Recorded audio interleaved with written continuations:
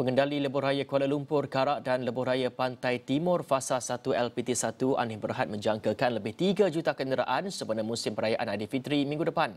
Serentak itu, Anih Berhad menjangkakan jumlah trafik ke Pantai Timur akan mengalami peningkatan bermula dari 19 April 2023 hingga 21 April 2023. Manakala kesesakan trafik menghala ke Kuala Lumpur pula dijangka bermula dari 24 April dan 30 April sehingga 1 Mei 2023.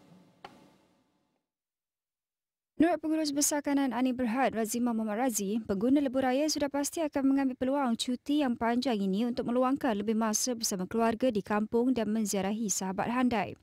Pihaknya berharap agar pengguna lebuh raya merancang perjalanan di musim perayaan dan percutian ini memandangkan jangkaan aliran trafik meningkat semasa musim perayaan kepada lebih 3 juta kenderaan di KLK dan LPT1.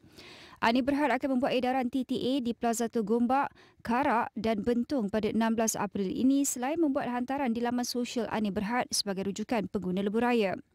Tambahnya Ani berhad komited dalam mempertingkatkan usaha mengurangkan kesesakan pada musim perayaan ini termasuklah dengan menambah sehingga 30% bilangan kaki tangan sokongannya di Plaza Tol. Pada masa sama pihaknya akan menempatkan seramai lebih 140 anggota rela di beberapa kawasan strategik di sepanjang lebuh raya di samping meningkatkan jumlah pekerja pasukan rundaan LPT dan trafik sebanyak 20% dan memperbanyakkan rundaan bagi memastikan kelancaran trafik sepanjang tempoh tersebut. Sebelum memulakan perjalanan, para pengguna turut diingatkan supaya memastikan baki e-wallet dan kad touch and go mencukupi demi mengelakkan sebarang masalah berkaitan baki tidak mencukupi ketika di Plaza Tol sekaligus mengundang kesesakan.